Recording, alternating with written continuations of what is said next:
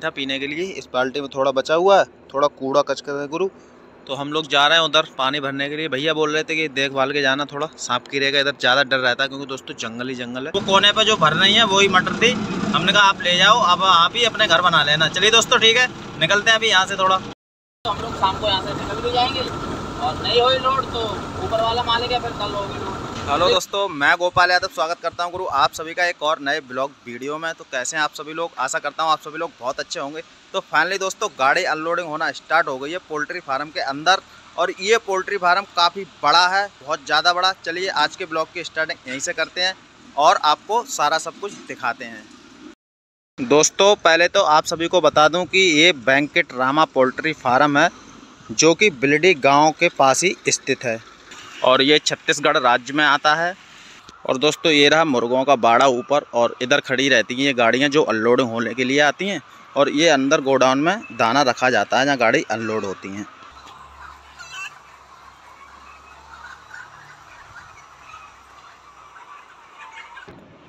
तो दोस्तों, अभी तक थे हम बाहर, अब आ गए हैं गोडाउन के अंदर, जहाँ माल उतार के गाड़ियों से रखा जाता है। और वो अपनी गाड़ी की थोड़ी सी बाडी दिख रही है। अभी चलते हैं अपनी गाड़ी के इधर।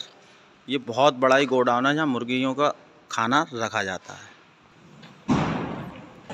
और ये लगी भैया अपनी गाड़ी इधर। इधर ही गाड़ी अनलोड होगी। और दोस्तों, अंदर एकदम बिल्कुल अंधेरा सा लग रहा है। उधर एक अन्ना भाई की गाड़ी, एक लोकल गाड़ी जो है, अनलोड हो रही है। और लॉन्ग रूट वाली गाड़ी जो माल लेके आती है, डीओसी, वो इधर ही खाली होती हैं। और अभी आगे केबिन के अंदर फ्लैश लाइट का किया इस्तेमाल, क्योंकि केबिन में एकदम अंधेरा है। और दोस्तों, आज हमने बनाया है ये, रखा हुआ हमारा भात। और ये रखी हुई है हमारी दाल। तो ये हम लोगों ने थोड़ा टाइम से बना ली थी, हमने कहा अंदर न बनाने दें ना बनाने दें। तो इस वजह से ये दाल भात हमने बना के एकदम कंप्लीट कर लिया, क्योंकि होटल की यहाँ कोई भी व्यवस्था दूर दूर तक दोस्तों है नहीं। अभी देखते हैं दोस्तों, कितने टाइम में लेबर यहाँ आती है। फिर जो है गाड़ी अनलोड होना स्टार्ट होती है।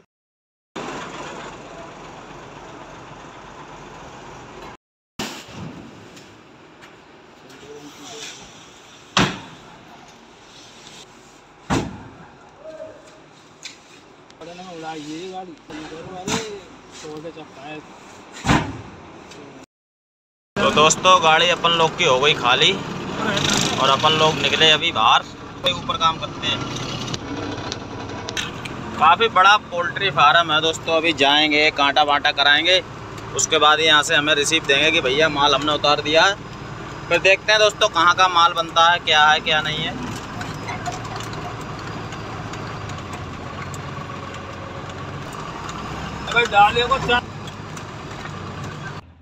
और दोस्तों, इधर एक साइड में ये जो सफ़ेद सफ़ेद दिख रहा है, ये जो है अंडे की क्रेट बना रहे हैं इधर लोग, जिसमें अंडा पैक किया जाता है।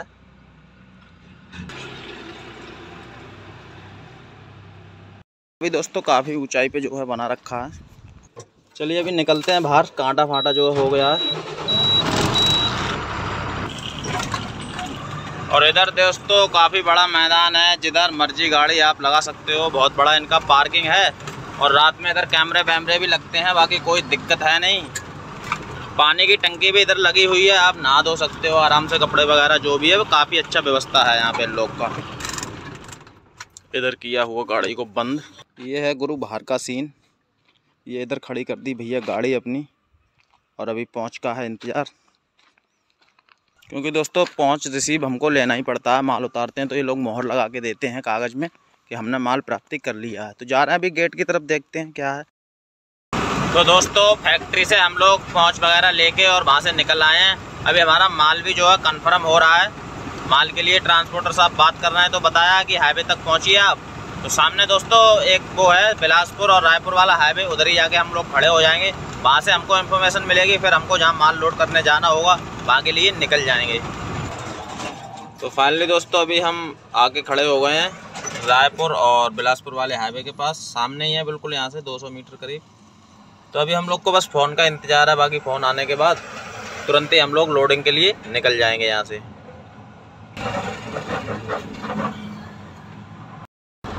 तो अभी हम लोग निकल चुके हैं। हमारा माल का जो है ऑर्डर आ गया है और हम लोग जा रहे हैं गाड़ी लोड करने। और भैया गाड़ी लोड करने जाते हैं तो जो खुशी होती है, बस पूछो मत यार। और हमारा रुद्रपुर का माल है।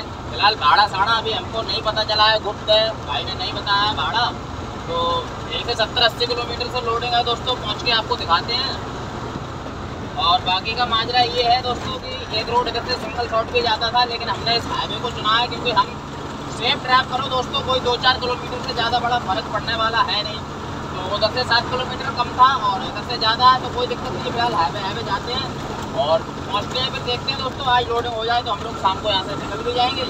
और नहीं हुई लोड तो ऊपर वाला मालिक है, फिर कल होगी लोड अस्सी नब्बे किलोमीटर है दोस्तों यहाँ से तो हमको लगभग दो घंटे तो लग ही जाएँगे। भगाएँगे गाड़ी तो भी, डेढ़ दो घंटा लग ही जाता है दोस्तों, बड़ी गाड़ी से। और कहीं पे रास्ते में से तेल भी लेना है दोस्तों, तेल भी थोड़ा कम रह गया है। और कहीं भी जाएँ दोस्तों, मज़ा तभी आता है जब गाड़ी खाली होते ही तुरंत हमको माल मिल जाए अपने इधर का। भैया, खाली करो, तुरंत भरो और निकल लो। तो ये हम चल रहे हैं, जो रोड है, वो इधर बिलासपुर गया हमारे पीछे और जिधर हम चल रहे हैं, वो सीधा रायपुर गया है। वहीं से हम रायपुर को साइड करते हुए निकल जाएँगे अपनी फैक्ट्री के लिए।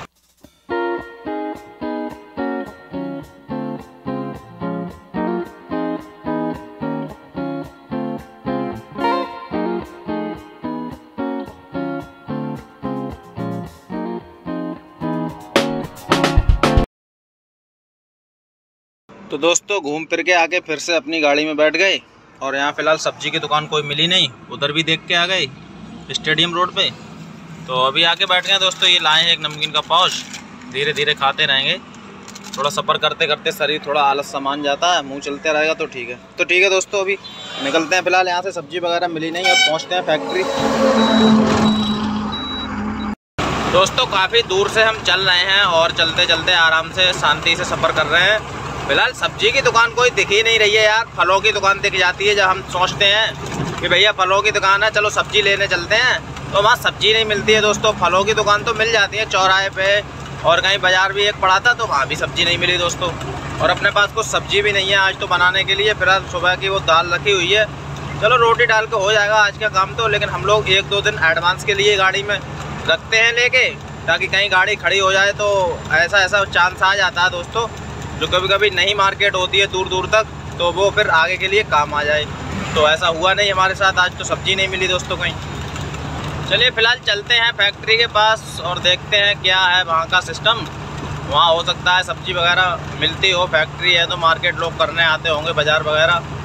पीछे रुके थे दोस्तों स्टेडियम के लिए मोड़ गया था बोर्ड देखा हमने, अंतर्राष्ट्रीय क्रिकेट स्टेडियम लिखा हुआ था। भाई रुक गए, अब हमको जाना है इधर, हमारी गाड़ी को उधर जाना होता। तो बहुत ही मज़ा आता दोस्तों, दूर से ही सही, लेकिन एक बार देख तो लेते ही। रायपुर का क्रिकेट स्टेडियम कैसा दिखता है बाहर से? तो दोस्तों, वहाँ से हम लोग चले आए फ़िलहाल एक हाईवे रोड पे। एक माताजी जो है, सब्ज़ी की दुकान लगाए हुए हैं। तो मामा भेज दिया है मैंने सब्ज़ी लेने के लिए। और ये भी बंद करने जा रही थी माताजी तो गाड़ी रोकी मैंने तो यहीं से जो है सब्ज़ी ले लेते हैं अब। तो भैया, सब्ज़ी लेके एकदम आ गए, टमाटर, आलू और थोड़ा मटर लेके आए हैं। और माता जी तो एकदम इतनी अच्छी हैं, बोल रही थी, वो भी मटर ले जाओ। तो हमने कहा, भैया, सड़ जाएगी, बहुत ही पीछे पड़ रही थी। तो गाड़ी में दोस्तों मटर गर्मी लगती है तो थोड़ा ख़राब हो जाता है इसलिए हम लोग वो मटर नहीं लाए। वो कोने पर जो भर रही है, वही मटर थी। हमने कहा, आप ले जाओ, अब आप ही अपने घर बना लेना। चलिए दोस्तों, ठीक है, निकलते हैं अभी यहाँ से थोड़ा। फाइनली हम दो लोग दोस्तों आ चुके हैं अपनी फैक्ट्री के अंदर, और ये है इधर कांटा जहाँ लाइट जल रही है, पूरे पेड़ पहाड़ हैं इधर चारों तरफ़। और अभी हमारे पास पानी नहीं था पीने के लिए, इस बाल्टी में थोड़ा बचा हुआ है, थोड़ा कूड़ा कचक है गुरु। तो हम लोग जा रहे हैं उधर पानी भरने के लिए। भैया बोल रहे थे कि देखभाल के जाना थोड़ा सांप की रहेगा, इधर ज़्यादा डर रहता है क्योंकि दोस्तों जंगल ही जंगल है और कुछ नहीं है। फ़िलहाल अंदर खड़े हुए हैं गेट के तो भी। तो यही हम फ्लैश जरा के जा रहे हैं दोस्तों। और आगे आगे जा रहा है मामा ये, टॉर्च जरा के। क्योंकि जगह फैक्ट्री वालों की है ये, टोटल लेकिन इधर बनवाई हुई नहीं है, अभी तो जंगल पड़ा हुआ है। बाल्टी लटका के फ़िलहाल घूम रहे हैं दोस्तों। पानी कहीं दिखाई नहीं दे रहा।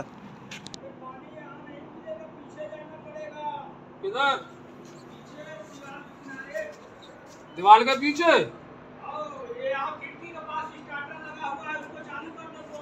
अच्छा ये स्टार्टर लगा है। तो दोस्तों एक भैया थे कमरे के अंदर। उन्होंने बताया इसको चालू करो स्टार्टर को।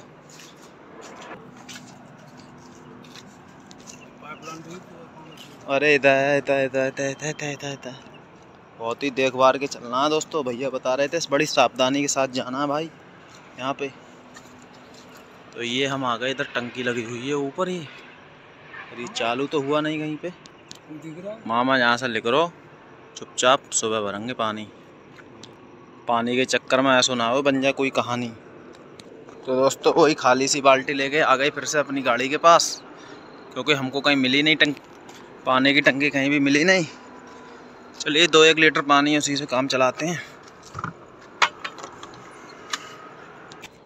और गुरु कर्रा जंगल है ये। यहाँ कोई पता नहीं सांप गिरेगा क्या है, कितने टाइम क्या हो जाए। तो अभी एक दो लीटर है, वही खा के थोड़ा पी लेंगे, बर्तन बर्तन सुबह धो देंगे। तो दोस्तों, पानी लेने गए, पानी नहीं मिल पाया, थोड़ा सा पानी था। वही हम लोग काम चला लिए अभी खाना पीना खा के, एक दो लीटर पानी था। और अभी आ गए फैक्ट्री अंदर, लेकिन दोस्तों फैक्ट्री यहाँ से 500 मीटर अभी अंदर है, बड़ा फैक्ट्री है, लेकिन यहाँ पार्किंग है, ये लोग कांटा आटा यहीं पे कराते हैं। तो कांटा करा के जाएगी सुबह गाड़ी तो ये लोग यहीं खड़ा करा दिए अभी गाड़ी।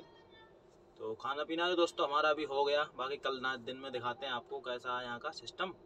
तो ठीक है दोस्तों, आज का अपना यही ब्लॉग था। ब्लॉग अच्छा लगा हो तो ब्लॉग को एक लाइक कर दें। चैनल पे यदि नए आए हैं तो चैनल को भी सब्सक्राइब कर दें और अपने ड्राइवर भाई को सपोर्ट करें। तो ठीक है दोस्तों, आज के इस ब्लॉग को एंड करते हैं। गुरु, जल्दी ही मिलेंगे अगले नेक्स्ट ब्लॉग में। तब तक के लिए मेरे सभी प्यारे भाइयों को मेरा प्यार भरा नमस्कार, सत श्रीकाल सलाम। जय हिंद बंदे मातरम।